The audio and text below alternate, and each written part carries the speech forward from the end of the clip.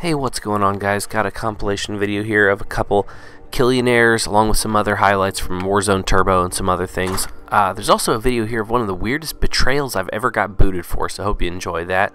I've got a couple other videos in the works, so make sure you come back and check those out. Thanks for watching guys. Bye.